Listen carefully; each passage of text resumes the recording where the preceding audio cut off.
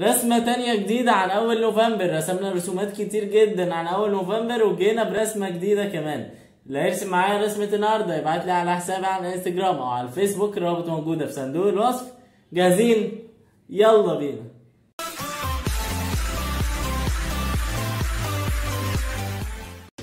كالعادة رسمة جديدة ورسمة جميلة جدا عن الجزائر وعن أول نوفمبر. كل اللي هنعمله في رسمة النهاردة إن إحنا هنجيب المسطرة ونبدأ نعمل زي شكل كده المستطيل. بقول لكم دلوقتي إن ما ينفعش إن حد يستخدم الخطوط الطول أو العرض المستقيمة من غير مسطرة لأن الموضوع هيبقى صعب بالنسبة للمبتدئين. فأكيد هيميل منكم الخط شوية. فعشان كده لازم بالمسطرة زي ما أنتم شايفين نعمل خط بالعرض كده مستقيم. ونعمل خط بالطول تاني لأن إحنا طبعا أكيد انت شفتوا الرسمة عاملين شكل آه، رقم واحد عليه علم الجزائر وكاتبين كلمة نوفمبر وحاطين التاريخ جنبها. فزي ما أنتم شايفين طبعا الواحد بنخلي ال ال الميل بتاع الواحد أو الكسرة بتاعت الواحد من فوق ما تكونش بنفس الخط مع ال- المستطيل اللي إحنا عملناه بتاع الواحد. يعني زي ما أنتم شايفين كده من فوق الواحد مايل لشمال شوية. ما ينفعش حد يرسم لي الواحد بمسافة أقصر شوية من كده. ما ينفعش خالص. هنعمل خط بالطول كده وهنعمل شكل هلال وهنعمل شكل نجمة في الشكل بتاعنا لأن طبعا شكل علم الجزائر هلال ونجمة وعلى الشمال أخضر وعلى اليمين أبيض. بالنسبة لكلمة نوفمبر فأنتوا ممكن تكتبوها بأي طريقة تعجبكم. مفيهاش أي مشكلة. كتابة عادية جدا خط الرقعة خط الثلث خط النسخ. اختار أي خط أنت عايزه آه، وابدأ ارسم بيه أو اكتب بيه آه، كلمة نوفمبر. زي ما أنتم شايفين الخمسة ما ينفعش إن إحنا نعملها آه، مايلة. أهم حاجة إن الخمسة كده تبقى زي ما أنتم شايفين مستقيمة. رسمة النهاردة لازم نرسمها بطريقة كده خفيفة محدش يتقل على الخطوط وهو بيرسم عشان وارد حدوث أي خطأ فلازم لازم نكون عاملين حسابنا ونخطط تخطيط خفيف. كده كده مش هنخسر حاجة. خلينا نخطط تخطيط خفيف. لقينا الرسمة ظبطت خلاص هنتقل بقى وهنلون. لقينا في حاجة غلط فاحنا نقدر نمسح. مش هنخسر حاجة لأن إحنا كده كده مخططين تخطيط خفيف. طبعا تعليقاتكم الفترة اللي فاتت عجبتني جدا وفرحتني جدا جدا. فمستني منكم التعليقات الجميلة دي اللي فعلا فعلا الحافز والسبب الرئيسي بعد ربنا طبعا في إن أنا أكمل في آه، اليوتيوب وأتحفز وألاقي في حد بجد عايز يتعلم. في ناس بتتفرج في ناس حابة المحتوى في ناس حباني آه، عشان الشخصية في ناس حابين الرسم.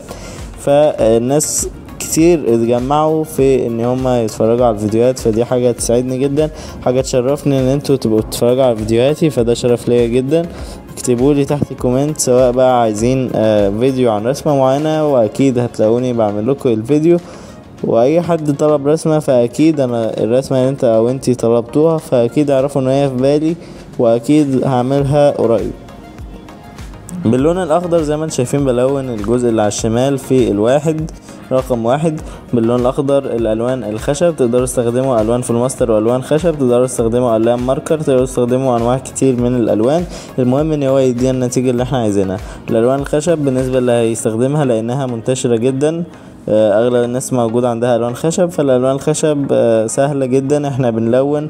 بحاول على قد ما أقدر كمان الرسومات بتاعتي أجيب لكم ألوان أساسية. يعني ما أجيبش بقى اللي هو إيه ال الفستق اللوزي اللي جاي من آه، درجة من مش عارف إيه. المواضيع بتعقد المواضيع دي بتعقد الناس فأنا مش عايز أعقدكم خالص من الرسم. الرسم بسيط جدا. جايبين لون أخضر. أنتوا لو جبتوا العلبة اللي هي سبع ألوان في علبة كده ألوان خشب سبع ألوان اللي هي الألوان الرئيسية بس. هتلاقوا الأخضر فيها هتلون بالأخضر عادي جدا. الأحمر موجود من الألوان الرئيسية. فأنا جايب لكم الحمد لله بحاول على قد ما أقدر أجيب لكم آه، ألوان. تبقى سهلة جدا. ما تتعبوش ما اجيبلكوش بقى درجات فلازم تجيبوا ألوان درجات كبيرة. لا عادي جدا. ألوان أساسية.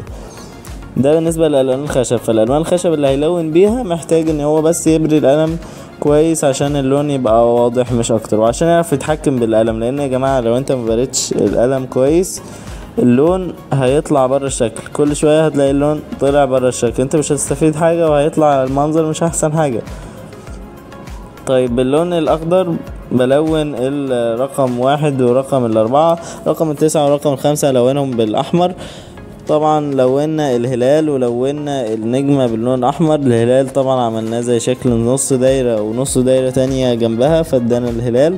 النجمة طبعا عبارة عن مثلثات مش أكتر مثلث فوق ومثلث على اليمين ومثلث على الشمال ومثلثين تحت واحد مايل لناحية اليمين شوية وواحد مايل لناحية الشمال شوية. فباللون الأحمر قاعد الون أهو رقم خمسة وبلون رقم تسعة بخططه كده حواليه. طبعا ما تخشوش على مرحلة التلوين إلا وأنتم متأكدين إن أنتوا خلصتوا آه، التخطيط ومش هتعملوا أي تعديل تاني. طبعا اللي هيرسم رسمة النهاردة لازم يبعت لي على حسابي على الانستجرام أو على الفيسبوك الرابط موجودة في صندوق الوصف. مستني تطبيقاتكم مستني آه ال- التطبيقات الجميلة والتطور الرهيب للرسم بتاعكم. فهتلاقوا الرابط موجودة في صندوق الوصف لازم كمان تروحوا تتابعوني هناك لأن أنا بنزل حاجات مهمة جدا. حاجات آه ممكن تبقى اللي هو إيه إنكم هتكونوا آه، لما تروحوا هناك على الفيسبوك والانستجرام هتلاقوا في حاجات هتعرفوها عني أنا أكتر عن أنا كخالد درغام. فعايزين تعرفوا حاجات أكتر عايزين تشوفوا رسومات أكتر عايزين تشوفوا رسومات احترافية فهتلاقوا كل ده موجود على الإنستجرام والفيسبوك لازم تتابعوني هناك. طبعا اللي مش عارف اللي مش هيعرف يعمل follow من الرابط هتلاقي الرابط موجودة في صندوق الوصف. اللي مش عارف يجيب الحساب فهتروح على الإنستجرام أو على الفيسبوك هتلاقي الحساب عبارة عن كلمة آه، درغام Art D O R G H A M مسافة A R T بنكمل الرسمة بالطريقة دي. ببدأ أخطط طبعا دي حاجة أكيد في ناس كتير كانوا من اللي متابعيني زمان عارفين إن أنا بعمل الحركة دي إن أنا بجيب قلم HB وببدأ أخطط الرسمة سواء بقى بخططه بقلم HB في أوقات كنت بخططه بقلم حبر جاف أسود. فكل ده نقدر نستخدمه أي حاجة فيهم تقدروا تستخدموها.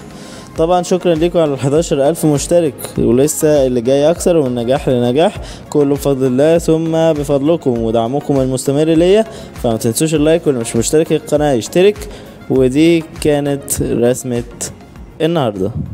ده كان فيديو النهارده أتمنى الفيديو يكون عجبكم لو عجبكم الفيديو like و share واشتراك في القناة وتفعيل زر الجرس. مستني أشوف تطبيقاتكم على الرسمة في صندوق الوصف هتلاقوا موجود الإنستجرام والفيسبوك. خشوا وابعتوا الرسومات واقول لكم لو في أخطاء وهنشجعكم وهشير رسوماتكم فأشوفكم الفيديو الجاي ومع السلامة.